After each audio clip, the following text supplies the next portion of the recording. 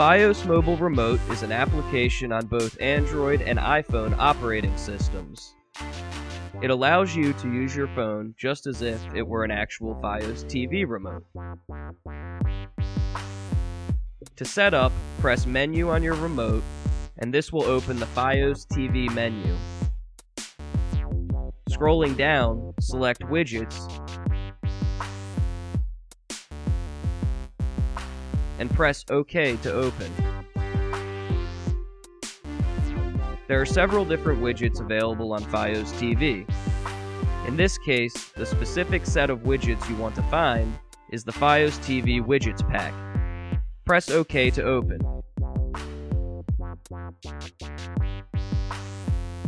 Scrolling up to All and tapping right, you can select the Fios Mobile Remote widget. Press OK to open the setup screen. On this screen, you can see the name of the widget a description, the price, and developer info. Press OK to launch the mobile registration screen.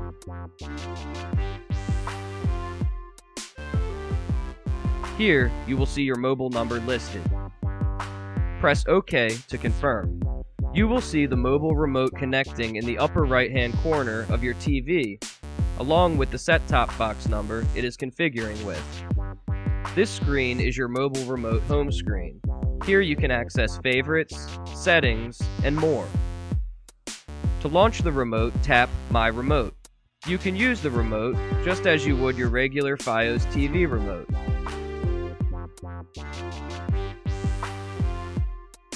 Tapping the minus and plus volume icons, you can change the viewing volume, and you can see this reflected on the TV. Tapping the mute button will mute all sounds. If you have any favorite shows or movies saved, you can access them here by tapping on the favorites icon. Since I don't have any favorites saved, I will tap up and press OK to return. Tapping the Fios TV icon will launch the Fios TV menu, and you can continue to tap on the Fios TV icon until you have returned to the full screen view of what you were watching. If you want to scroll through the channels one by one, you can do this by tapping the plus and minus channel icons. The guide button is a shortcut to the detailed guide for Verizon Fios. Using the arrows on the directional pad, you can scroll up or down to move through different channels, or left to right to browse different times.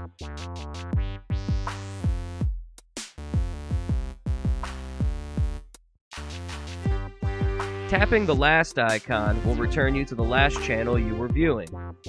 This button makes it easy to jump back and forth between two channels.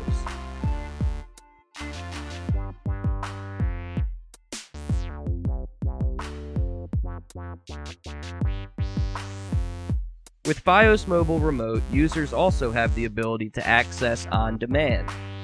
Tapping on the icon with the star will launch Video on Demand. From here, it is exactly the same as your normal remote. Tapping here, I will return to the menu and press Exit to return to the last show I was viewing.